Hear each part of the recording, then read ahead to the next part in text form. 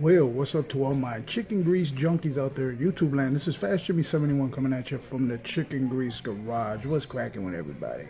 Today is Tuesday. It's a beautiful day in the Chi. It's about 80 degrees, but I gotta go to work. Mm-mm-mm. gotta make that money to supply that habit back here. Uh, well, uh, this is gonna be a little video, uh, a little bit of update on the project that I got going on, but I also got some goodies that I picked up on the weekend. I went to the flea market with my granddaughter and uh, picked up a few things. Really nice. Very cheap too. Very impressed. so I'm gonna turn this camera around. I'm gonna show you what I got. So don't go nowhere. I'll be right back. All right, my brothers, I'm back. Well, I had to step quite a ways because there's uh, this pretty this box is pretty big. Uh, well, first off, I picked up this Rockin' Roadster uh, flat V8. It's a 116 scale. This thing is badass. I've never seen this kit before, and I've never heard of this brand before. It's called the Minicraft Model Kits. Uh, I don't know if anybody else out there has heard of this uh, brand, but I've never heard of it, and uh, I couldn't pass it up, man. Brand new, uh, still in the wrapper, was still sealed. Uh, I paid 10 bucks for that. 10 bucks. That's crazy. 10 bucks. I couldn't believe I paid 10 bucks for a 116 scale. But uh, when I opened it up, man, it's it's mind blowing, man. The detail, the detail, the detail this stuff has, man, inside this kit. Uh, it is badass. I like it. Um, can't wait to get my hands on it to start putting it together, but that's going to be a later project. But let's move on to these right here. These are these are original kits still in the plastic, still factory sealed. This is a hot rod uh, series. This is a custom 56 Ford pickup. This one is from 1993. Then we have a Revell uh, VW Street Machine Volkswagen. This one's from 1994. These kits are both factory sealed, and I paid, I think if I'm not mistaken, I think I paid 10 bucks each also for these. Uh, but they're not bad. They're factory sealed and they're original kits, uh, which is pretty, pretty, pretty cool.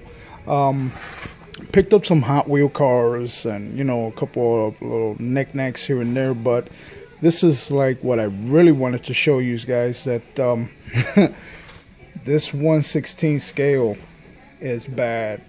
It's badass. Um, I'm gonna do a, a, a, box review, inbox review, uh, to show you guys what's inside this kit. But I'll do that one probably tomorrow. Uh, I'll show you all the contents inside this box and show you how much it brings. It brings a lot. That box is loaded. Well, let me uh, pull these boxes to the side so I can show you the progress on my project. So let me move this out the way. See, factory sealed. This box is a little smooshed, but that's okay. This box is in mint condition. Still in the plastic. Pretty cool. Well, here's the car. Uh, it's in semi-primer.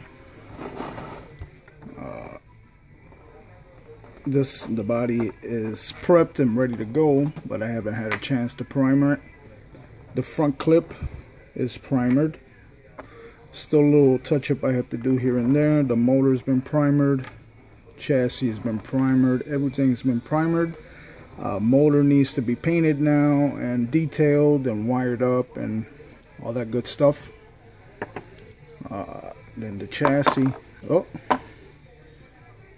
fell off. There. Yeah, sucks when you gotta do this one hand. There's the chassis suspension and everything that's been done to it. So all I gotta just do is paint it detail it. Like I said here is the front end.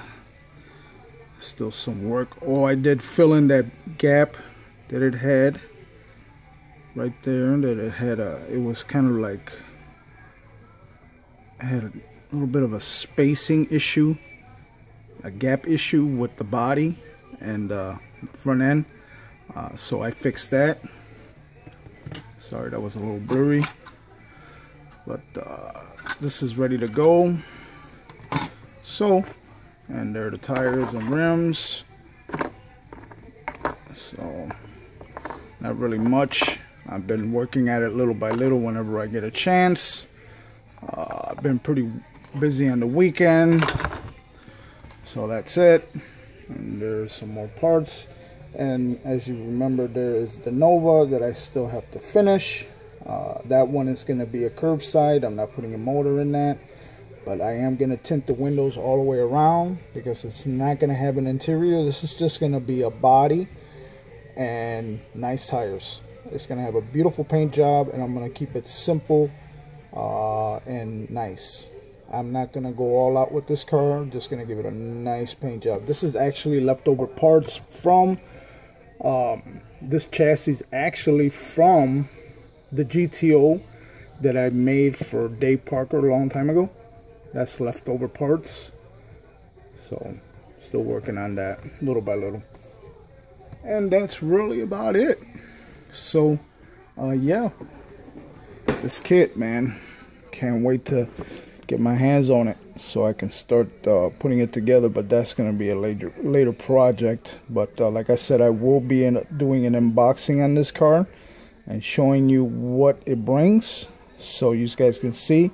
And if anybody out there knows what this brand is and ever heard of this brand and if this brand is good or not but for what I've seen it's got some really cool stuff. So uh, just leave me a message or a comment and let me know what you think so guys I gotta start getting ready to go to work. So this is Fast Jimmy 71 saying peace. And you know it chicken grease. Laters